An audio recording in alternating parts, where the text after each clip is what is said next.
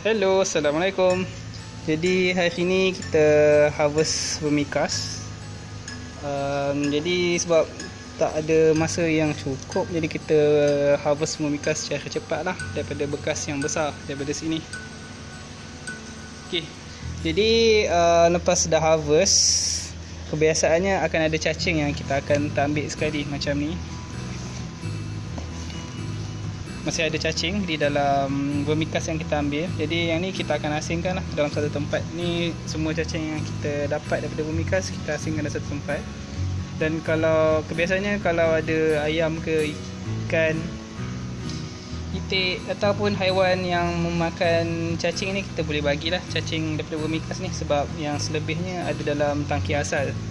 Jadi saya nak tunjuk cacing yang saya pakai African Nightcrawler ni dia punya sebahagian lah cacing yang kita pakai. Ni dapatnya daripada hanya daripada vermicast belum lagi dalam tangki asal. Kita uh, dapat lebih kurang dalam mungkin dapat dalam 2 kilo daripada, daripada semua daripada uh, dua bekas cacing yang kita harvest semalam. Jadi ini semua cacing yang kita ada lah. Banyak ni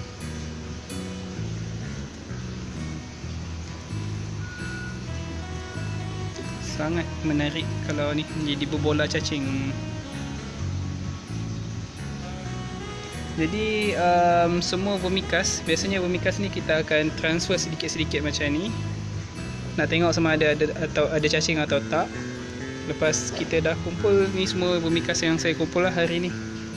Jadi vermicast ni boleh pakai untuk baja pokok lah Okay, untuk pengetahuan semua, vermicast ni adalah buangan cacing ataupun kita panggil tinja cacing hasil daripada dia makan sisa organik. Jadi yang ni kita akan pakai untuk tanam taman tanam tanam pokok kita.